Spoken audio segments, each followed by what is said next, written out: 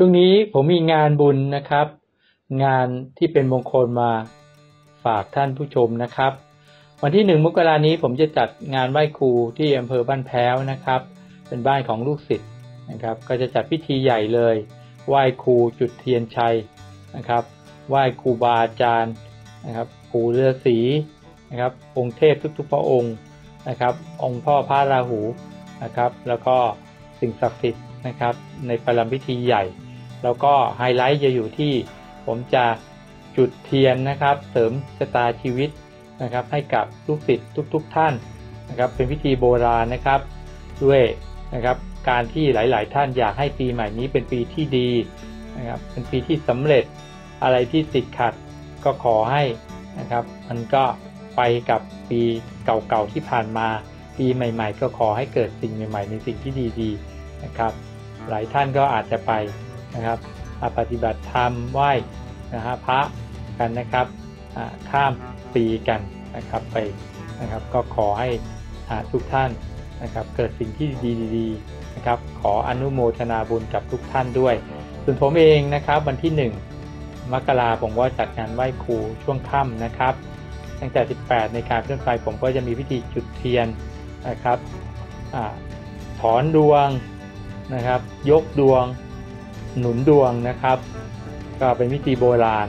เทียนแท่งแรกก็จะเป็นจุดเพื่อนะครับ ถอนดวงสิ่งที่นะครับ มันเป็นพลังลบสิ่งที่มันเป็นปัญหาอุปสรรค สิ่งที่เป็นความติดขัดนะครับ ไม่ว่าจะเป็นในสิ่งร้ายๆ สิ่งที่เราเคยผิดพลาดมาในนะครับ ช่วงเวลาที่ผ่านมา เราอาจจะทำให้ คุณพ่อคุณแม่เสียใจ เราอาจจะทำให้มีนะครับบุคคลที่จะต้องนะครับไม่ได้เกิดมาหรือนะครับสูญเสียชีวิตไปด้วยความที่เราไม่ได้ตั้งใจ อันนี้มันก็ติดอยู่ในวิบากกรรมของตัวเรา หรือบางคนก็ไปสัญญิงสัญญา ไปขอพร ไปสาบาน แล้วก็ไม่ได้ไปแก้คำสาบาน นะครับ ไว้เราก็อาจจะติดขัดปัญหาทำอะไร มันก็ยังไม่มีความสำเร็จ การจุดเทียนนะครับ แท่งแรกก็เพื่อจะถอนสิ่งที่เราติดขัด สิ่งที่เราเคยทำไว้นะครับ ให้มันหลุดนะครับ ให้มันมารายหายสิ้นไปนะครับ แล้วก็จุดเทียนแท่งที่สองเพื่อที่จะยกในสิ่งที่นะครับ เรารอคอยในสิ่งที่ดี ในสิ่งที่มันจะเป็นความสำเร็จ นะครับ ก็คือจะหนุนจะเสริมจะส่งให้มันมีนะครับ ในเรื่องของการเงิน การงาน เรื่องของโชคลาภแล้วก็เรื่องของความรักสุขภาพต่างๆ ให้มีสิ่งที่ดีๆ เข้ามาในปีใหม่ที่จะมาถึงนี้นะครับ 2567 ตั้งแต่วันที่ 1 มกราเป็นต้นไป ชีวิตเราก็จะได้โชดช่วงชัดชวานมีความสำเร็จมีความเจริญรุ่งเรืองนะครับ จุดเทียนให้ท่านทั้งสองแท่งนะครับ เป็นการถอน เป็นการยก แล้วก็เป็นการหนุนให้ครับ ก็ผมไหว้พิธีปกติทำงานไหว้ครูก็มีสมาชิกนะครับ ร่วมบุญค่าบายสีนะครับ เป็นค่าครูค่าของไหว้ของข้าวหวานผลไม้มงคลนะครับ ค่าใช้จ่ายจัดงานต่างๆ ก็แล้วแต่ท่านสมาชิกนะครับที่จะมีจิตศรัทธามีความเมตตาสนับสนุน รูบาอาจารย์นะครับ ก็สามารถติดต่อ call center ได้ แต่ถ้าจะร่วมจุดนะครับเทียนนะครับสืบชะตาหนุนดวงนะครับ ก็เสริมชะตาในปี 2567 ก็ 2 คู่ แล้วก็ค่าของไหว้ต่างๆเนี่ยนะครับก็มีค่าครูแล้วก็ค่าทำพิธีนะครับค่าของไหว้ต่างๆเนี่ย599 บาทนะครับ ก็สามารถแจ้งที่ call center ได้ ในชุดที่ 2 ในแบบที่2เนี่ยนะครับก็ผมมีหินนะครับ เป็น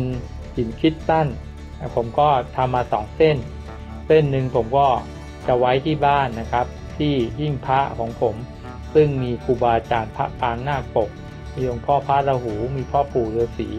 นะครับ เป็นสิ่งศักดิ์สิทธิ์ที่ผมเคารพเพื่อที่เราจะได้เป็นสื่อไว้ เวลาผมไหว้นะครับ ทุก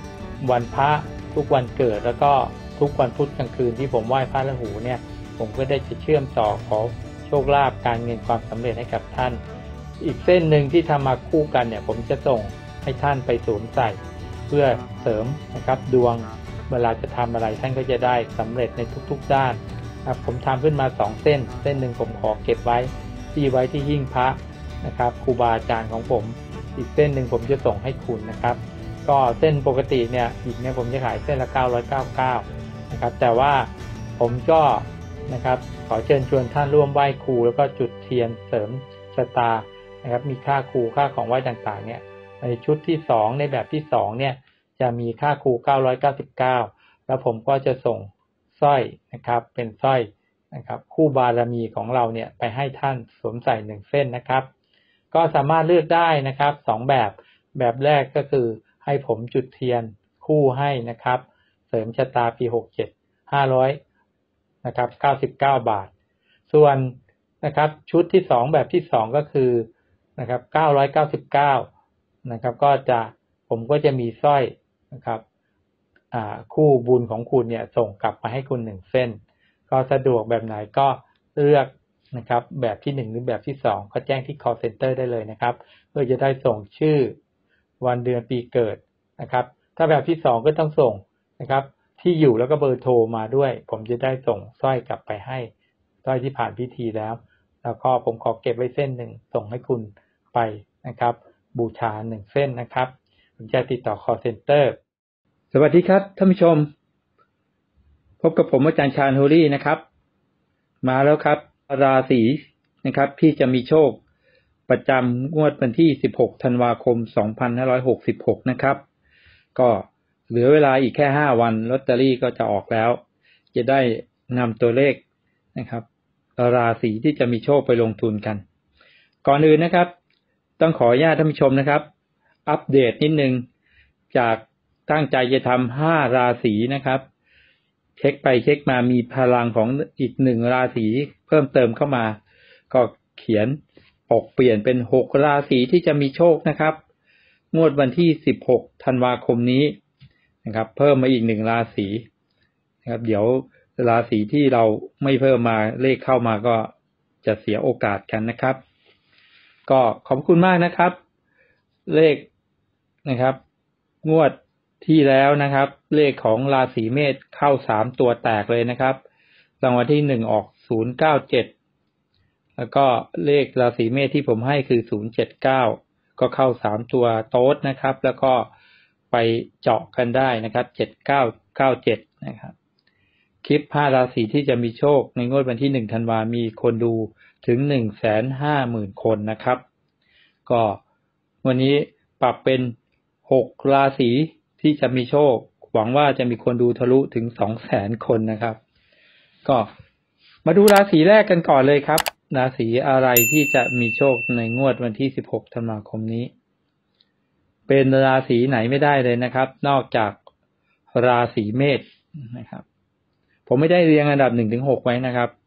ขอเรียงไล่จากราศีต้นๆไปถึงราศีท้ายๆแล้วกัน ราศีเมษนี่เข้ามาสามงวดติดแล้วนะ งวดนี้คิดว่ามีโอกาสที่จะเข้าไปงวดที่สี่เพราะชาวราศีเมษนี่ดาวมีพลังจริง ๆ มาดูกันครับว่าทำไมผมถึงให้ ราศีเมษยังติดหนึ่งในหกราศีที่จะมีโชคในงวดวันที่สิบหกธันวาคมนี้ เราคิดว่าทำไมถึงจะเข้า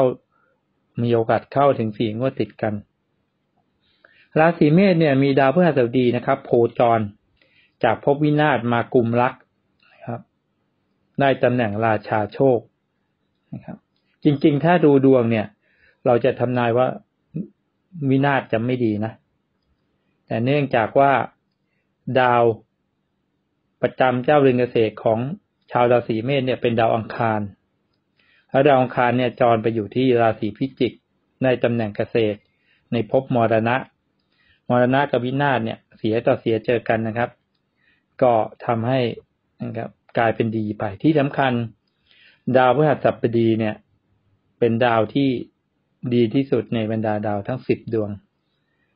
ถ้าอยู่ กับดาวดวงไหนก็จะช่วยประคับประคองส่งเสริมกันนะครับแล้วก็ถ้าพบเสียก็อาจจะ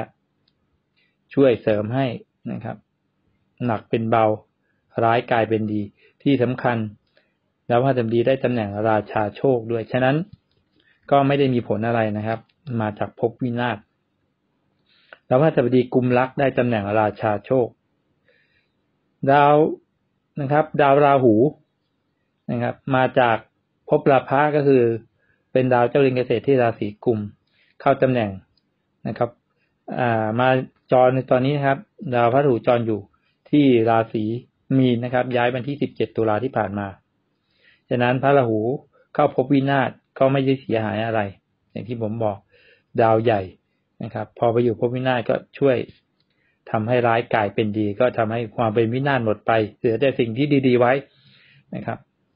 ดาวการเงินของชาวราศีเมษเนี่ยก็จะมีดาวอยู่สามดวง ไปดูดาวโคจรก่อนนะครับ ก็จะเป็นดาวพฤหัสเลขศูนย์ดาวพระเกตเลขเก้าแล้วก็ดาวเจ้าเรือนเกษตรจะเป็นดาวศุกร์เลขหกวันที่สิบหกธันวานี้ดาวศุกร์โคจรไปที่ราศีตุลบ้านของตัวเองนะครับ ก็ได้เกษตร เนื้อในไส้ในเป็น มหาอุดจะด้วยนะครับหกก็เลย นะครับ อยู่ในภพการเงินก็เสริมการเงินเด่นขึ้นมาอีกนะครับ ดาววิทยูเลขศูนย์เลขศูนย์อยู่กับเลขอะไรก็จะเพิ่มค่าให้ ส่วนดาวพระเกตเนี่ย องค์ของท่านเนี่ยนะครับเดิมมาจากพระราหูนะครับ ท่อนล่างของพระเกตหางเป็นงู เหมือนพระราหู แต่ตอนนี้พระราหูมีครึ่งบนครึ่งเดียวแล้วนะโดนจับพระลายตัดไป ครึ่งล่างที่เป็นงูก็งอกใหม่กำเนิดเกิดใหม่เป็นเทพบุตรองค์ใหม่เป็นพระเกตเลขเก้านะครับ ฉะนั้นตอนนี้พระราหูอยู่ในภพราพะนะครับเป็นดาวเจ้าเรือนเกษตรที่ภพราพะฉะนั้นเลขเก้าเนื่องจากหางเป็นพระราหูนะครับ ส่วนบนเป็นเทพบุตรนะครับ ฉะนั้นถ้าไปอยู่กับดาวอะไรจะคูณพลังให้สอง ผมเน้นตลอดเลยเลขเก้าจะคูณสองเลขศูนย์จะบวกเพิ่ม ฉะนั้นนี่คือเหตุผลที่ชาวราศีเมษมีพลังแน่นอน ดูสิครับ ดูพบการเงินนะครับมีหกอยู่ในเจ้าเดือนเกษตรและมหาอุดด้วย แล้วเก้าคูณสองศูนย์ก็บวกค่า ไปดูราพะมีเจ็ดแปดคู่มิตรใหญ่โชคลาภก้อนใหญ่โอ้โหทั้งเงินก้อนใหญ่ทั้งโชคลาภก้อนใหญ่ จะมีเงินนะครับ ถ้าได้เงินก็จะได้เงินก้อนใหญ่ๆเพราะมีเก้ากับศูนย์แล้วมีหกเป็นดาวการเงิน ถ้าโชคลาภก็เจ็ดแปดคู่มหามิตร คู่โชคลาภก้อนใหญ่แปดเรายังตีความในเรื่องของนะครับ การเสี่ยงโชคนะครับ เบื้องหลัง เลขห้าการต่างประเทศออนไลน์เลขศูนย์ก็หมายถึง สิ่งใหม่ๆ โชคลาภใหม่ ๆ การเงินใหม่ ๆ เพราะว่าศูนย์อยู่ในตำแหน่งกระดุมพระโอ้อธิบายยาวเลยนะชาวราศีเมษเพราะว่า คุณสมบัติครบถ้วนกระบวนการจริง ๆนะครับ แล้วมีดาวที่ดีหลายดวงมาก ดาวอังคารเลขสามตำแหน่งเกษตร แล้วก็ยังเป็นมหาอุดด้วย เลขห้านะครับก็ไส้นอกเนื้อนอกนะครับ ได้ตำแหน่งราชาโชคไส้ในได้ตำแหน่งละมหาอุด เลขแล้วก็ยังมีเลขเจ็ดเลขแปดเป็นลาภะนะครับ เลข เจ็ดนี่ก็ได้เป็นมหาอุดศูนย์กับเก้าก็ได้ตำแหน่ง การคูณการบวกกันนะครับหกหมายเลขนี่ดีต่อใจ ดีต่อกันเลยกันนะครับ เลขดีๆ ทั้งนั้นเลย นั้นนี่คือเหตุผลที่ผมเลือกให้ชาวราศีเมษมีโอกาส มีพลัง แล้วก็อาจจะควบนะครับสี่ศูนย์ภูลสวัสด์นะครับถูกรางวัลสี่งวดติดกันนะครับ มาดูเลขที่ผมจัดมาดีกว่า อย่างที่ผมบอกมีเลขห้าตัวสวยทั้งนั้นเลย ห้า สาม ห้า เจ็ด แปด ศูนย์เก้านะครับเลขยากจริงๆเลยนะครับ แล้วก็สิบสองราศีผมตอนแรกก็จะให้สามเจ็ดแปดเปลี่ยนใจกระทันหันตอนจัดรายการให้เป็นเจ็ดแปดเก้าลืมไปว่าผมให้เลขดับ ก็อนุโลมไปเลขหนึ่งนะ บอกตรงนี้เลยนะ ใครที่จะเล่นเลขดับนะครับ เลขเก้าเลขกับคู่กับเลขอื่นนะครับ งดแทงได้ แต่คู่เจ็ดแปดเก้าคือเจ็ดเก้ากับแปดเก้าอย่าอย่าอย่าตัดออกนะครับ เดี๋ยวเลขเก้ามากับแปดเก้าไหนบอกอาจารย์บอกเก้าดับ เพราะว่าเก้าในราศีเมษมีพลังและชาวราศีเมษนี่ต้องยอมเขาจริงๆสามตัวผมตัดสินใจเลือกเป็นเจ็ดแปดเก้านะครับลาภะเจ็ดแปดเก้าคือการเงินและเก้าคือคูณสองขออนุญาตเลือกเจ็ดแปดเก้า ถ้าเก้าจะมา ผมว่าก็จะมาแค่สองคู่เท่านั้นแหละ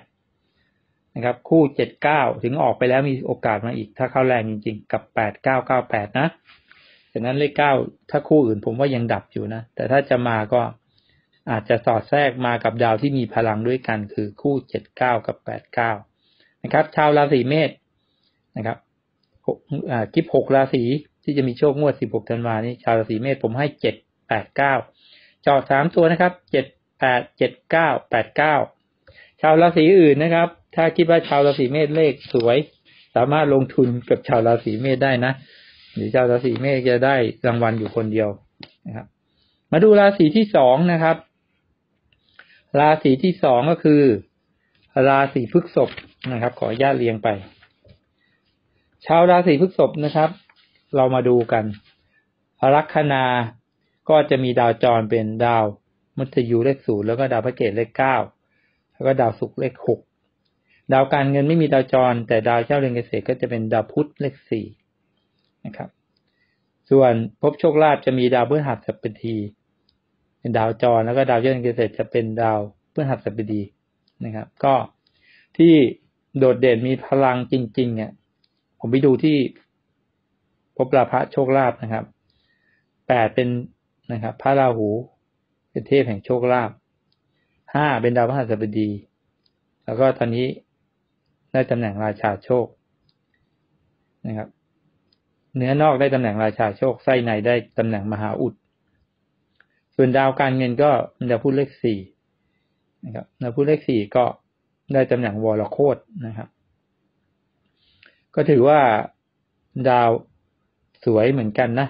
โดยเฉพาะลัคนาของตัวเองมีหกมีศูนย์มีเก้าหกไปได้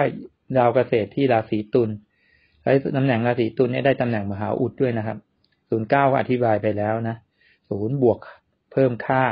ส่วนเก้านี่ทวีคูณเพิ่มพลังคูณกันเข้าไปสองเท่าฉะนั้นได้ความแรงของดาวได้ตำแหน่งโชคลาภเลขแปดพระราหูและเลขห้าดาวพฤหัสบดีทำให้ ชาวราศีพฤษภเป็นอีกหนึ่งราศีที่จะคว้าโชคคว้ารางวัลในงวดนี้นะครับโดยเฉพาะมีคู่เลขคู่หนึ่งนะครับ ซึ่งมีถึงสองราศีนะ มีโอกาสที่จะมา เพราะผมก็ตามอยู่นะพระราหูย้ายเข้าราศีมีนเมื่อวันที่สิบเจ็ดตุลาที่ผ่านมายังรอคอยอยู่นะครับสามตัวนะครับ ผมให้ห้าหกแปดห้าหกแปด นะครับ ก็แยกคู่ไม่ได้ห้าหกหกห้าห้าหกหกห้าแล้วก็ห้าแปดแปดห้าคู่ห้าแปดนะครับ เป็นคู่หนึ่งที่มีพลังแล้วก็ผมว่ามีโอกาสที่จะมาสูงเหมือนกัน แล้วก็หกแปดแปดหกนะครับ เจาะมาได้สามคู่ ชาวราศีพฤษภก็วันนี้ขอให้มีโชคนะครับ เพราะอย่าลืมนะาวราศีพฤษภเคยออกคู่กับชาวราศีเมษไปแล้ว เมื่องวดวันที่ 16 พฤศจิกายนนะครับ มีโอกาสกลับมาออกได้อีกนะครับ ก็ขอให้โชคดี มีโชคในงวดวันที่ 16 วันที่ 16 ธันวานี้ด้วยครับ ราศีที่สามนะครับ ได้แก่ชาวราศีมิถุนนะครับชาวราศีมิถุนนะครับ โดดเด่น ผมดูจุดเดียวเลย เพราะว่าผมให้เรื่องโชคลาภอันดับหนึ่งผมต้องไปดูโชคลาภก่อน อันดับที่สองผมก็จะไปดูเรื่องการเงิน แล้วก็นะครับ เอาองค์ประกอบอื่นมาผสมผสานด้วยอย่างเช่น คุณสมบัติดาว เนื้อนอกในตำแหน่งอะไรอยู่ครบอะไร แล้วก็เนื้อในไส้ใน มีคุณสมบัติดาวพลังพิเศษตรงไหนเพิ่มเติมเข้ามานะครับ ก็ลัคนาราศีมิถุนก็ไม่มีดาวจรนะครับ แต่ว่า ดาวพุธเนี่ยเขามีพลังเขาเป็นวรโคตอย่างที่ผมบอกไปดาวพุธก็หมายถึงเรื่องของโซเชียลมีเดียเรื่องของการออนไลน์ การลงทุนที่เกี่ยวกับการต่างประเทศนี่ก็ก็จะเป็นสิ่งที่มีโอกาสที่จะประสบความสำเร็จ ส่วนดาวการเงินก็จะเป็นดาวจันทร์นะครับ เลขสองดาวโชคลาภอย่างที่ผมบอกไปนะครับ ก็จะมีดาวพฤหัสบดี เป็นดาวจรได้ตำแหน่งราชาโชคนะครับไส้ในได้ตำแหน่งมหาอุด ส่วนดาวเจ้าเรือนเกษตรเป็นดาวอังคารนะครับได้ตำแหน่งเกษตรที่ราศีพิจิก แล้วก็นะครับในไส้ในก็ได้ตำแหน่งนะครับมหาอุดด้วย ก็ถือว่าดาวอังคารมีพลังชาวราศีมิถุนนี่ก็นอกจาก ในเรื่องของโชคลาภแล้วเนี่ย ก็ยังมีในเรื่องของการงานด้วยนะครับ เพราะว่า ดาวพุธเลขสี่ได้ตำแหน่งมรโคระหว่างแล้วก็ ในเรื่องของกรรมะ หมายถึงอาชีพการงานหลายท่านมีงานประจำทำก็ ปีใหม่นี้ก็นะครับ ตั้งแต่ 16 ธันวาไปจนถึงนะครับปลายปีเนี้ยดาวเริ่มส่งพลังแล้วเนี่ย ปี67ท่านก็จะเริ่มมีโชคลาภในเรื่องของการงานด้วยนะครับ อาจจะได้เงินพิเศษนะครับก้อนหนึ่ง แล้วก็อาจจะมีงานเพิ่มเติมโดยเฉพาะเลขห้าเนี่ย หมายถึงเงินต่างประเทศ หมายถึงผู้หลักผู้ใหญ่เนี่ยคุณก็อาจจะได้ผู้หลักผู้ใหญ่เมตตา แล้วก็อาจจะได้มีการโปรโมทในเลื่อนขั้นเรื่องตำแหน่งกันนะครับ เพราะว่าดาวองคารเนี่ย คือหมายถึงความขยันขันแข็งของคุณนะ เป็นคนที่ขยันหนักเบาเอาสู้ ฉะนั้นราศีมิถุนเนี่ย ไม่รู้นะ อาจารย์ท่านอื่นทายไม่ทายไม่ดีทายเสียแต่ผมทายดีนะ เพราะอะไร เพราะไปจนถึงเดือนเมษานู่นแหละ ปีหกเจ็ดดาวพฤหัสบดีถึงจะย้ายตราบใดที่ดาวพฤหัสบดียังไม่ย้ายตำแหน่งราชาโชค ไม่มีทางเสียเลย และอย่างเวลาเราดูดวงเนี่ย เราต้องไปดูดาวกำเนิดเขาด้วยนะ ว่าในดาวเนื้อในหรือดาวเกิดเขาเนี่ย มันมีดาวเสียดาวดีอะไร ถ้าเขามีดาวดีแล้วถ้าเกิดดาวย้ายไปตำแหน่งเสียเนี่ย ดาวกำเนิดก็ยังช่วยเกื้อหนุนฉะนั้น เวลาดูดวงผ่านทางโซเชียลออนไลน์หรือ YouTube อะมันจะได้ความแม่นยำแค่บางส่วนส่วนหนึ่งเท่านั้นนะ จะให้ดีคุณต้องไปเช็คดวงกับ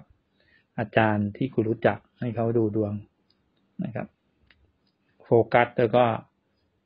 อาจจะเจาะลึกเจาะตรงลงไปหน่อยหนึ่งเพราะว่าเขาก็จะต้องขอวันเดือนปีเกิดคุณดูนะครับ โอเคชาวราศีมิถุนก็นะครับ นอกจากโชคลาภแล้วยังมีโอกาสที่จะได้หน้าที่การงานการเงินนะครับพิเศษขึ้นมา เพราะว่าเลขห้าคือดาวแห่งความสำเร็จนะครับ ในโชคระดับราชาโชคเนี่ยหมายถึงโชคก้อนใหญ่ๆจะเข้ามาจังหวะที่คุณตกกรรมะด้วยอาชีพแม้แต่การลงทุนเราเนี่ย ผมยังพูดเสมอว่ามันก็เป็นงานอย่างหนึ่งนะเพราะเราทำอะไรซ้ำๆบ่อย ๆ เป็นกิจวัตรประจำวัน บ่อยๆมาก ๆ เนี่ยผมถือว่า มันเป็นงานอย่างหนึ่งสมัยก่อน ผมเคยเป็นนักข่าว ผมก็ไปสัมภาษณ์นักธุรกิจในฮ็อบบี้งานสะสม นะครับ หรือว่าเบื้องหลังการทำงานหลังเวลาเลิกงาน ผมก็ตั้งคอลัมน์ผมขึ้นมาว่า after work หมายถึงว่า หลังจากหน้าที่การงานที่เขาเป็นผู้บริหารเนี่ยเขาไปทำอะไร บางคนก็ไปตีกอล์ฟบางคนก็ไปขับเจ็ตสกีบางคนก็ไปวินเซิร์ฟนะครับขับนะครับเรือขับรถแข่ง อันนี้คือ after work หรือว่าฮ็อบบี้งานอดิเรกงานสะสมนะครับอังั้นกรรมะก็แปลว่าในเรื่องของงาน อื่นๆที่เราสนใจ แล้วที่เราตั้งใจฉะนั้น เราจะมีโชคนะครับ ผมก็เลยเหมารวมว่ามันรวมถึงการลงทุนในด้านออนไลน์ที่เรากำลังจะลงทุนกันอยู่นะครับ ในงวดวันที่สิบหกนี้ก็ขอให้ท่านมีโชคนะครับ ราศีลัคนาราศีเดียวกับผมด้วย ขอให้มีโชคนะครับ ไปดูตัวเลขกันนะครับ ของชาวราศีมิถุนก็คือ ผมเลือกมาคือสี่สามห้าเน้นที่พบโชคลาภนะครับ สี่เป็นวรโคตสามนะครับ ก็ได้ตำแหน่งเกษตร แล้วก็มหาอุดห้าเป็นตำแหน่ง ราชาโชคแล้วดับเบิลด้วยตำแหน่งมหาอุดห้าดีไม่รู้จะดียังไงแล้วนะแค่มาราชาโชคก็ดีสุดๆ แล้วยังได้มหาอุดเข้าไปอีกนะครับสี่สามห้าแยกมาได้สามสี่สามห้าสี่ห้านะครับสามสี่สามห้าสี่ห้านะครับ ก็ขอให้ชาวมีทุนได้เฮกันนะครับในวันนี้ ไปดูราศีที่สี่แล้วนะครับ ราศีที่สี่ขยับขยับขยับมา ไปถึงราศีมังกรครับ ชาวราศีมังกรทำไมถึงติดอันดับที่จะมีโชค คราวนี้ผมไปดูที่ตำแหน่งดาวการเงิน ดาวการเงินของชาวราศีมังกรคือคือราศีกุมนะ มีดาวเสาร์เลขเจ็ดอยู่ และดาวเสาร์เลขเจ็ดเนี่ยก็คือดาว เจ้าเรือนเกษตร หรือดาวประจำตัวของคนชาวราศีมังกรนะครับโคจรมาอยู่ที่ราศีกุมเนี่ย สมัยก่อนเนี่ย หรือบางคนอาจารย์หลายท่าน สมัยนี้ก็ยังให้นะครับ เป็นบ้านของดาวเสาร์อยู่นะดาวเสาร์ก็จะมีสองบ้านเหมือนกันนะราศีมังกรกับราศีกุม เพราะว่าเริ่มต้นเลยเนี่ย บ้านของดาวเสาร์จะเป็นราศีกุม แต่ตอนหลังเนี่ยนะครับ ท่านครูบาอาจารย์เขาได้คิดวิธีการใช้ หลักวิชาการเล็งลักนะครับฉะนั้นดาวที่อยู่ตรงข้ามนะครับ บวกกันตรงข้ามลัคนาบวกกับลัคนาเนี่ย จะต้องได้เก้ายกตัวอย่างเช่นราศีเมษเนี่ยเล็งลักกับราศีตุลเนี่ยราศีเมษเนี่ยจะเป็นดาวอังคารนะดาวเจ้าเรือนเกษตร ราศีตุลเนี่ยจะเป็นดาวศุกร์เลขหกเห็นไหมครับ เล็งกันบวกกันจะต้องได้เก้าหรือมาดูเอาราศีกรกฎก็ได้ เล็งกับราศีมังกร ราศีกรกฎเนี่ยดาวเจ้าเรือนเกษตรจะเป็นดาวจันทร์เลขสองราศีมังกรก็จะมีดาวประจำบ้านหรือดาวเจ้าเรือนเกษตรจะเป็นดาวเสาร์เลขเจ็ดเห็นไหมครับสองบวกเจ็ดเป็นเก้าพอราศีกุมเนี่ยเล็งกับราศีสิงห์สมัยก่อนเป็นเลขเจ็ดใช่ไหมครับเป็นดาวเสาร์แต่ราศีสิงห์เนี่ยจะมีดาวพระอาทิตย์เนี่ยเป็นเลขหนึ่งเล็งกันแล้วบวกกันได้แปดนะครับช่วงนั้นก็มีพระราหูกับพระเกตเกิดขึ้นพอดีเขาก็เลย ยกบ้านพระเสาให้เป็นบ้านของพระราหูไปบวกคำหนึ่งพระอาทิตย์เป็นเก้าพอดี แต่ก็ไม่น่าเกลียดอะไรนะพระเสาบอกยอมได้นะเพื่อนกัน ก็ทำให้ราศีกุมเนี่ยพอมีทั้งเสาและแปดเสาทั้งพระราหูอยู่ด้วยกันนะครับ อันนี้เป็นเป็นเป็นทิกเป็นข้อมูลเสริมไม่ให้ ฉะนั้นพบกระดุมพระการเงินของราศีมังกรจะมีเจ็ดแปด พื่อนมหามิตรการเงินถ้ามีเจ็ดแปดคือเราจะได้การเงินก้อนใหญ่เข้ามา จะมาจากโชคลาภจะมาจากหน้าที่การงาน จะมาจากเพศตรงข้าม หรือจะมาจากมรดกทางไกล ก็เป็นไปได้ทั้งนั้นนะการเงินก้อนใหญ่ ไปดูโชคลาภโชคลาภของชาวราศีมังกรเนี่ยก็จะเป็นราศีพิจิกนะก็จะมีดาวที่แรงที่สุดจะเป็นดาวองคารเลขสาม ได้ตำแหน่งเกษตรตาทิบดี แล้วยังได้ตำแหน่งมหาอุดด้วย โชคลาภก็จะเป็นโชคลาภที่นะครับมีโอกาสประสบความสำเร็จสูงมากเลยนะ มหาอุดเกษตรด้วยหมายถึงความอุดมสมบูรณ์ เป็นใหญ่ในบ้านของตัวเราเองฉะนั้นเลขสามมีพลังเหมือนกันทั้งวันนี้ ก็ชาวราศีมังกรนะครับ เลขเจ็ดมีพลัง เพราะว่าปีนี้ก่อนจะหมดปีเนี่ย นะครับ ก็วันนะครับ วันธงชัย วันแห่งชัยชนะก็จะเป็นนะครับ วันเสาร์ฉะนั้นวันเสาร์ก็จะมีพลัง แล้วลอตเตอรี่งวดนี้ก็ออกวันเสาร์อีก ฉะนั้นก็เลยตอนแรกจะตัดราศีมังกรออกก็คงคงขอเพิ่มอีกหนึ่งราศีแล้วกันนะครับท่านผู้ชมจากประกาศว่าจะมีห้าราศีที่จะมีโชคก็ขอเพิ่มเป็นหกก็ ชาวราศีมังกรก็จะได้เฮด้วยนะ มีโอกาสลุ้นกับเขาเพิ่มมาอีกหนึ่งราศีนะครับ ไปดูเลขประจำราศีนะครับของชาวราศีมังกรนะสามเจ็ดแปดสามเจ็ดแปดนะครับเจาะเป็นสามเจ็ดสามแปดเจ็ดแปดคู่เจ็ดแปดกับคู่ห้าแปดจะมีถึงสองราศีนะครับ ก็มีโอกาสนะ ทั้งห้าแปดและเจ็ดแปดเคลียร์กันว่าคู่ไหนจะมานะครับก็สี่ราศีแล้วนะครับ ต่อมาเป็นราศีที่ห้าขยับไปเลยเพราะเหลือแค่สองราศีพอดีนะครับราศีที่ห้าก็จะเป็นราศีกุมนะครับชาวราศีกุมเนี่ยนะครับ หมอดูบอกว่าไม่ดี เพราะว่า อ่าเป็นเขาเรียกว่าบ้านพระราหูเขากลัวพระราหูกันเนี่ยเหมือนกับราศีมีนแหละ พอพระราหูย้ายไปทับลักก็บอกไม่ดีไม่ดี แต่อย่าลืมนะนะครับ ดาวเสาร์อยู่โดดๆไม่ดี แต่พอดาวเสาร์ย้ายเข้าบ้านราศีกุมแล้วก็เป็นบ้านเก่าของตัวเองด้วยทำให้คู่เจ็ดแปดคู่นี้เด่นขึ้นมาทันทีเลยนะครับ โดยเฉพาะตำแหน่งที่ได้ดาวการเงิน พระราหูอยู่ในภพดาวการเงิน แล้วก็พระราหูเนี่ย มาจากราศีกุมบ้านของตัวเอง ไปอยู่ดาวการเงิน การเงินที่จะได้จากการเสี่ยงโชคพระราหูทายว่าโชคลาภก็ได้ทายว่าเรื่องของการต่างประเทศก็ได้ทายเรื่องของการบันเทิงเรื่องของสีเทาๆก็ได้นะ การให้คำปรึกษาหรือการที่เราจะ โดยเฉพาะพระราหูนี่อาจจะหมายถึงสิ่งศักดิ์สิทธิ์เรื่องของสิ่งได้รับก็ได้ รับพระราหูย้าย มาวันที่สิบเจ็ดตุลาเข้าบ้านของดาวพฤหัสบดีราศีมีนนะครับทำให้ดาวการดาวการเงินจะมีห้ากับแปดห้าได้ตำแหน่งราชาโชค และเป็นมหาอุดแปดเนี่ยเป็นตัวเราเองเข้าตำแหน่งการเงิน หมายถึงว่าตัวเราจะได้เงิน มีเจ็ดหนุน ตัวเราจะได้เงินแล้วจะได้เงินก้อนใหญ่ด้วยพอเจ็ดแปดอยู่คู่กันไม่ว่าเงินก็จะใหญ่นะครับ แล้วก็โชคลาภก็จะได้ก้อนใหญ่ แล้วถ้าบังเอิญถ้าถ้าปีต่อไปไปโคจรลงกรรมะหนึ่งเกี่ยวกับงาน ใครที่ทำงานนะครับ เป็นนักธุรกิจหรือเป็นผู้ที่นะครับรับนะครับเป็นฟรีแลนซ์หรือแม้แต่จะเป็นคนที่เปิดบริษัทเนี่ย คุณจะได้งาน job ใหญ่ๆนะใน project ใหญ่ ๆ ในงานชิ้นใหญ่ ๆ ก็มา เพราะเจ็ดแปดมันจะแปลว่าใหญ่ ถ้ามีปัญหาก็จะมีปัญหาใหญ่เหมือนกันนะ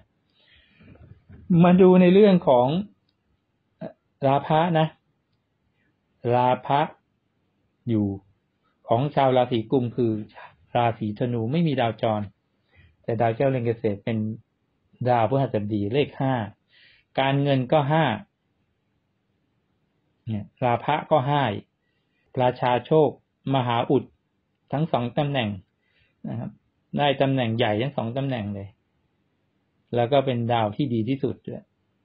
แล้วตกอยู่ในตำแหน่งของการเงินกับโชคลาภได้เงินก็ได้เงินก้อนใหญ่ ประสบความสำเร็จก็ความประสบความสำเร็จอย่างยิ่งใหญ่ มีโชคลาภก็มีโชคลาภนะครับรางวัลใหญ่ ๆ ชาวราศีกุม ผมว่างวดนี้ต้องมาแล้วนะงวดนี้ต้องมาแล้ว ไปดูตัวเลข นะครับชาวราศีกุมนะครับผมบอกแล้วว่าจะมีคู่ซ้ำกันห้าเจ็ดแปดสามตัวนะครับห้าเจ็ดแปดนะครับเจาะมาได้ห้าเจ็ดห้าแปดแล้วก็เจ็ดแปดคู่ห้าแปดกับเจ็ดแปดสามนะ ฉะนั้นผมคิดว่าถ้าเจ็ดแปดมานี่ ถูกทั้งชาวราศีเมษหรือทั้งชาวราศีกุมนะครับ แล้วก็ถูกทั้งชาวอ่าเจ็ดแปดใช่ไหมครับเจ็ดแปดก็ต้องเป็นชาวราศีมังกรด้วยนะใช่นะครับ ก็ถ้าเจ็ดแปดมาหรือห้าแปดมาก็ถูกกันหลายราศีแหละครบแล้วนะครับห้าราศีแต่ว่าผมบวกหนึ่งเพิ่มมาเป็นราศีที่หกราศีส่งท้าย ชาวราศีมีนนั่นเอง ราศีสุดท้ายทุกทีเลยนะชาวราศีมีน อาจารย์บางคนเขาก็จัดแบบเริ่มแต่ราศีเมษราศีเมษเป็นราศีแรกตลอดเลย เปลี่ยนมาเริ่มมาทางราศีมีนราศีคุมราศีมังกรมั่งนะครับ เอาอาราศีหลังๆมาขึ้นก่อน ก็ไม่แปลกนะฮะแต่ยังไงสุดท้ายมันก็ต้องมาถึงอยู่ดีอะมันก็ครบห้าราศีหกราศีอยู่ดี มาดูราศีที่หกนะครับ ชาวราศีมีน ชาวราศีมีนเนี่ย อาจารย์หลาย ๆ ท่านนะครับ พูดนะครับนะครับเออ เมื่อกี้ผมว่าจะพูดให้ความรู้ไว้นิดนึงดีกว่า เพราะว่าเดี๋ยวราศีสุดท้ายละเหลือราศีสุดท้ายละพูดไว้นิดนึงดีกว่าว่า หมอดูชอบบอกว่านะครับ ชาวราศีกุมอะพอดีเดี๋ยวมีนะครับ ความเห็นต่างนะแย้งกันว่า ชาวราศีกุมเนี่ย ถึงแม้ผมจะมองว่าการเงินก็เป็น ดาวพฤหัสดีโชคลาภก็เป็นดาวดี แต่ว่าอย่าลืมมันมีกฎของนะครับโหราศาสตร์ข้อหนึ่งก็คือ พอราหูเนี่ยย้ายเข้าแล้ว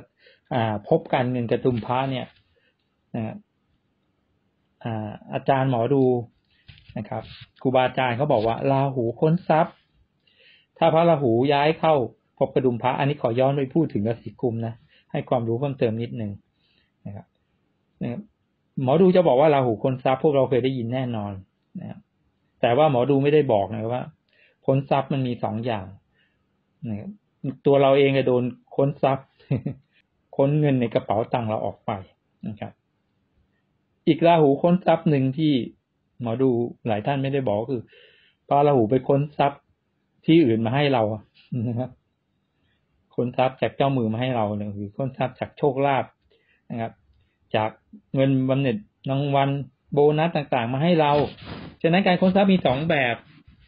นะแล้วถ้าตำแหน่งที่ดีพระดาวพฤหัสบดีช่วยเสริม มีพลังทั้งสองตำแหน่งใหญ่ ๆ เนี่ยนะครับค้นทรัพย์ในด้านดีครับ เราก็จะได้เงินจากรางวัลต่างๆเข้ามานะแล้วเป็นทรัพย์ก้อนใหญ่ซะด้วยเพราะมีเจ็ดมาช่วยเสริม อย่าลืมพระราหูพลิกร้ายกลายเป็นดีนะเราก็เคยทำให้ยาจกกลายเป็น เศรษฐี แล้วเศรษฐีคนมีเงินก็กลับมาเป็นยาจกนะแต่ชั่วคราวนะถ้าทำดีเดี๋ยวก็กลับไปเป็นเศรษฐีใหม่ผมนี่แหละมีตังตอนนี้กลับมาเป็นหนี้แล้วทำมาแปดปีพอดีเป๊ะเลย แล้วกลับมาทำงานใหม่ครับ เพราะว่าจะเลิกเป็นหมอดูไปแล้วก็เลยกลับมาเป็นยาจกเดิมแล้วกลับมาทำใหม่ครับ เพราะว่าทุกอย่างกำลังต้องเดินไปตามเส้นทางที่เขากำหนดไว้นะครับ อาจจะหนีนะครับ ดวงชะตาฟ้าลิขิตไม่ได้ โอเค มาโม้เรื่องชาวราศีกุมต่อเพราะว่าชาวราศีกุมฟังอยู่ก็เพิ่มความรู้ให้นิดเพราะว่าผมเห็นหลายคนกลัวแล้วก็มีคนบอกละราหูค้นทรัพย์ค้นทรัพย์นะครับแต่มันค้นทรัพย์สองทางนะอยู่ที่เราดาวกำเนิดเราดีด้วยหรือเปล่า โอเค ต่อไปเป็นราศีสุดท้ายละราศีมีน อันนี้ก็เหมือนกันนะเพราะราหูทับรักนะกุมรักจะไม่ดีก็ว่ากันไป แต่อย่าลืมนะ ของเรานะครับ ตัวเราเองเนี่ย ดีสุดๆแล้ว ชาวราศีมีนนะครับ ชาวราศีมีนนี่ได้ เลขดาวพฤหัสบดีเป็นราชาโชค แต่ว่าจะดีถึงเดือนเมษาแล้วไปลุ้นกันอีกเครื่องหนึ่งนะเพราะว่าพระพฤหัสบดีเนี่ยจะย้ายนะครับหนึ่งปีย้ายครั้งหนึ่งเพิ่งย้ายมาในสิบเก้าเมษาเดี๋ยวจะย้ายออกก็เนี่ยสิบเก้าเมษาปีหกเจ็ดโอ้ยแต่อีกห้าหกเดือนรวยกันเละเทะแล้วนะครับ นะครับ ชาวราศีมีนไม่ต้องกลัวนะครับพระราหูกุมรักหรือทับรัก เพราะว่าเรามีดาวพฤหัสบดี ดาวที่ดีที่สุดช่วยกันนะครับแล้วก็มาส่งเสริมให้ดาวพระราหูมีพลังเพิ่มขึ้นมาในเรื่องของโชคลาภ โดยเฉพาะกระดุมพระพบการเงิน เราได้ดาวเด่นสองดวงมาช่วยกัน นั่นคือดาวองคารนะครับ ดาวองคาร ดาวองคารเนี่ยจรไปอยู่ที่ ราศีพิจิกก็เป็นทั้งเกษตรแล้วก็มหาอุด ส่วนดาวการเงินก็มีดาวตัวเราเองเนี่ย เดินไปไปอยู่จุดการเงินไปรอรับเงินอยู่แถวนั้นนะครับ เงินก้อนใหญ่ ๆ ระดับราชานะครับ แล้วก็เป็นมหาอุดที่จะมีโอกาสประสบความสำเร็จสูงมากๆเลย ส่วนโชคลาภนะครับ ดาวจันทร์จรมา ดาวจันทร์เป็นดาวเจ้าเลิกประจำวันนะครับ ภูมิปาโลในวันที่สิบหกธันวา แถมก็ก่อนหวยออกเนี่ย เป็นวันจันทร์ดับด้วยนะ ฉันก็จะมีพลังขึ้นมานะครับ ก็มีโอกาส ที่ครับ ดาวจันทร์จะช่วยนะครับ ส่งพลังขึ้นมานะครับให้กับชาวราศีมีน เพราะว่าอยู่ในบ้านของพระเสาเนี่ยก็ถือว่าส่งเสริมกันพระเสาเนี่ย ถ้าเราจะบูชาสิ่งศักดิ์สิทธิ์เนี่ย องค์เทพเนี่ยเราก็บูชาองค์พญานาคนะหรือพระพระปางนาคปกเลขเจ็ดเลขพญานาค หรือพระปางนาคปกนะครับพญานาคท่านก็นะครับมีตำนานมีเรื่องเล่าแหละ ท่านก็ศรัทธาเรื่องของนะครับพระพุทธศาสนา ก็อยากจะบวชนะครับ ก็ยังบวชไม่ได้ เพราะว่าก็พระพุทธเจ้าจะบวชให้กับคนเท่านั้นมนุษย์เท่านั้นนะครับ ก็บวชได้แค่นาคนะครับ เป็นเรื่องราวเราถึงมีการบวชหน้าก่อนบวชพระกันครับ ส่วนเลขสองนี่ก็ทายเป็นเรื่องของแม่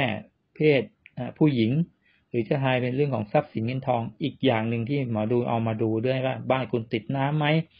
หรือว่าคุณมีโรคภัยไข้เจ็บอะไรเกี่ยวกับน้ำในปอด หรือการเดินทางให้ระมัดระวัง การเดินทางทางน้ำอะไรหรือเปล่า ฉะนั้นถ้าเราพูดถึงสิ่งศักดิ์สิทธิ์หรือองค์เทพที่เราจะบูชา เราก็ต้องพูดถึงองค์พญานาคนะครับ ฉะนั้นก็มีโอกาสที่จะสำเร็จเหมือนกันพบโชคลาภช่วยหนุนไว้ มาดูเลขของชาวราศีมีนนะครับ ก็สองห้าแปดนะครับ ชาวราศีมีนนะครับสองห้าแปดนะครับ ขอตัดมาได้นะครับสองห้าสองแปด แล้วก็ห้าแปดอย่างที่ผมบอกไปนะ คู่ห้าแปดกับเจ็ดแปดเยอะมากแค่สองคู่นี้มาก็ถูกกันหลายราศีละเราตั้งใจจะทำให้ถูกทุกๆราศีด้วย แต่ว่ามันคงเป็นอย่างนั้นไม่ได้ แต่อย่างน้อยก็ให้ถูกสักสองสามราศีนะงั้นเราก็มีคนถูกหลายราศีก็มีคนได้โชคกันเยอะๆจะได้นำเงินไปเที่ยวปีใหม่กลับบ้านต่างจังหวัดกัน ครบแล้วนะครับหกราศีแล้วผมมานั่งดูดูไปมันเป็นความบังเอิญด้วย นะครับ ก็คือตั้งแต่ไล่ตั้งแต่ราศีเมษราศีพฤษภราศีมิถุน ราศีนะครับมังกรแล้วก็ราศีมีนราศีกุมเนี่ยนะครับ อยู่นะครับ ครึ่งบนทั้งนั้นเลยนะครับ ก็ข้างล่างไม่มีราศีเลยแต่ไม่เป็นไรนะครับ แบ่งฝั่งกันก่อนวันนี้ เดี๋ยวงวดสามสิบก็อาจจะเป็นฝั่งข้างล่างบ้าง ก็ขออวยพรให้ทุกท่านมีโชค มีลาบนะครับ ด้วยหลักวิชาของอดาวจรโหราศาสตร์ไทย เดี๋ยวก็รอติดตามโค้งสุดท้ายนะครับ เพราะว่าผมก็จัดรายการมาเกือบแปดปีล้วก็เพิ่มเติมวิชาให้ จริงๆก็มาจัดรายการก็ตอนปีเนี้ยก็พัฒนางานขึ้นนะครับสองปีสามปีที่ผ่านมาก็ทำงานหลายอย่างแล้วก็จัดรายการไม่ละเอียดพอนะครับ ยอมรับว่าไม่ละเอียดพอ พอช่วงหนึ่งปีที่ผ่านมาก็ใช้เวลามาทบทวนกับงานหลาย ๆ อย่างของตัวเองก็มาต้องดูว่า โอ้มีหลายเรื่องที่เราไม่ละเอียด เราพูดไม่หมดแล้วเราก็นำความรู้ที่มาครับถ่ายทอดเนี่ยน้อยเกินไป โดยเฉพาะตัวเลขในจักรราศีแล้วก็นวังจักรตัวเลขที่เราทำเลขดับ ตัวเลขที่เราทำเลขเด่นฝากไว้ด้วยนะครับโค้งสุดท้ายเพราะว่า พอเราได้เลขดับแล้วเนี่ย เราจะเห็นเลขเด่นที่มีพลังละนะครับหลายปีก่อนผมไม่ได้พูดถึงนะ เพราะว่าเอาเวลาไปทำอย่างอื่นนี้ผมจะมาเน้นตรงนี้ให้ เราจะได้มองเลขกันออกง่าย ๆ เลขที่มันไม่มา มันคือเลขที่มันไม่มีพลัง ส่วนเลขที่มันมีพลังนะ่ะคือเราเอาไปลงทุนอย่างคราวแล้วสามกับหกมันไม่มา บางคนก็ยังไปลงทุนอยู่ ตัวเลขมันก็จะเหลือน้อยลงแล้ว เพราะว่าเราก็ไปเอาเลขพลังอะมาซื้อ เลขที่ไม่มีพลังอะเราก็ไม่ต้องไปซื้อ แต่งวดนี้บอกก่อนขอย้ำเดี๋ยวจะไปย้ำโค้งสุดท้ายด้วย ฝากเลขเก้าไว้ตัวหนึ่งนะครับสำหรับแปดเก้ากับเจ็ดเก้าเพราะผมกลัวชาวราศีเมษจริง ๆ เลย พลังเขากำลังแรง เดี๋ยวหน้าผมจะแหกแล้วออกแปดเก้าผมถือว่าไม่ใช่เลขดับผมแล้วนะว่าเลขดับสามที่แปดชุดคุณจะไปจะไปตัดออกทั้งสามที่แปดเลยเหรอเก็บไว้สักสองสามชุดบ้างก็ดีเลขที่มันสวยอะฝากด้วยนะครับ กระจกห้าบานนะครับ งวดนี้มีโชคมีลาบใครไม่มีก็สั่งกันนะครับ ใครยังไม่ถูกหรือถูกน้อยต้องสั่งนะครับ เป็นตัวช่วย ให้พ่อพระราหูไปช่วย ใครมีโชคมีลาบเยอะแล้วอย่างชาวราศีเมษนะน้อยใจจริงเลย เข้ามาสามงวดเต็มๆแล้ว ผมบอกว่าจะมีโชคลาภก้อนใหญ่นะครับ โชคลาภใหญ่ไหมครับ การที่จะได้โชคลาภก้อนใหญ่จะมีสองแบบนะคุณถูกทีละตูไปเลยรางวัลที่สองรางวัลที่หนึ่งเนี่ยใหญ่จริง ๆ กับคุณถูกนะครับ หลักหมื่น หลาย ๆ ครั้งนี่ก็ใหญ่นะครับ เพราะว่ามันมาถี่มาบ่อย มาหลาย ๆ ครั้งอะมันก็ใหญ่ขึ้นมานะครับดังนั้นคุณถูกไปสามครั้งแล้วนะครับคุณต้องมีถึงห้าและสิบบาทแล้วล่ะนะครับ บาทแรกไปติดที่หน้าบ้านนะดึงดูดทรัพย์ ดึงดูดโชคลาภบาทที่สองก็การเงิน ก็ต้องหน้าห้องน้ำบานที่สามก็การงานก็ในห้องครัว ความรักนะครับ เดี๋ยวมกราก็เอาละกุมภาวันทายกันแล้วก็ความรัก นะครับ เราก็ต้องมีนะครับเขาเรียกว่าน้ำทิพย์ฉโลมใจก็ติดที่หน้าห้องนอน ส่วนหน้าบ้านถ้ามีเสามีต้นไม้ก็ไปติดที่เสาต้นไม้ แก้นะครับ ปัญหาอุปสรรคต่างๆบางทีทำอะไรก็มีปัญหาอุปสรรคคอยมา บั่นทอนเราอยู่ตลอดเวลาเลย ไปติดนะพระราหูจะได้ช่วยครับพิกร้ายกลายเป็นดีกันถ้าไม่มีเสาบางคนอยู่คอนโดบอกว่าหนูไม่มีเสาไม่มีต้นไม้ ก็ไม่ต้องไปปลูกมันนะติดเสาในบ้านก็ได้ ในห้องก็ได้นะครับ ในห้องก็มีเสานะครับ ก็ช่วยเหมือนกันเจ็ดแปดนะครับ อย่าลืมนะครับ วันที่หนึ่งผมมีงานไหว้ครู ท่านที่จะร่วมไหว้ครูร่วมฝากปัจจัยทำบุญก็สาธุแล้วก็อนุโมทนาบุญด้วย ส่วนใครจะฝากเทียนให้ผมจุดเสริมโชคชะตา เสริมดวงชะตาก็สามารถติดต่อ call center มีอยู่สองแบบนะครับ ก็มีประชาสัมพันธ์ ให้แล้วนะครับ ก็ลองดูรายละเอียดกันนะครับ ก็ฝากนะครับ กดไลค์กดแชร์ กดติดตามด้วยนะครับ มีคลิปใหม่ๆนะครับ ต้องกดที่ระฆังกระดิ่งนะครับ คลิปใหม่ๆ เราถึงจะเห็น ตอนนี้ก็มีคลิปเลขดับเมื่อวันที่สิบหกเลขนำโชคจากราศีแล้วก็สิบสองราศีไปดูด้วยนะครับว่าราศีเรามีเลขอะไรนะครับ แล้วก็อย่าลืมนะครับ คลิปล่าสุดก็คือหกราศีที่จะมีโชคในเมื่อวันที่สิบหกธันวา เราก็อย่าลืมนะครับ ฝากรายวันด้วยนะครับเลขนำโชคจากราศีรายวัน มีทุกวันเลยสำหรับคอฮานอยหรือลาวพัฒนาแม้แต่คอหุ้นเองนะครับ ผมก็มีเทคนิคการลงทุนยามหน้าลงทุนแล้วก็ตัวเลขพิเศษที่ในแต่ละวันบางทีอาจจะปรับ อาจจะเน้นเพิ่มเติมก็ไม่ให้เพราะว่าไม่ได้จัด YouTube ทุกชั่วโมงนะครับ จัดไม่ไหว แต่อยู่ในกลุ่ม VIP เนี่ยนะครับ มันสะดวกมันง่ายกว่าที่ผมจะส่งนะครับ เลขที่ผมเน้นเข้าไป ให้ตลอดเวลาจะเท่าที่เราจะมีเวลาที่จะช่วยกันนะครับ วิเคราะห์ช่วยเหลือกันแล้วเพื่อให้คุณได้มีกำไรในการลงทุน ฝากด้วยนะครับ ติดตามได้ ขอบคุณทุกท่านที่ติดตามเลยนะครับ ตอนนี้คลิปรายวันทะลุห้าพันกว่าไปแล้ว ขอบคุณทุกท่านที่ติดตามทุกคลิปเลยนะครับ แล้วก็อย่าลืมนะครับ พบกับผมได้ทุกวันนะครับ วันนี้ลาไปก่อนแล้วนะครับ พบกันกับผมในคลิปอื่นๆได้อีกหลายคลิปเลย โดยเฉพาะโค้งสุดท้ายเลขนำโชคจากราศี นะครับเป็นคลิปต่อไปนะครับ ขอบคุณนะครับ นี้ลาไปก่อนแล้วครับ สวัสดีครับ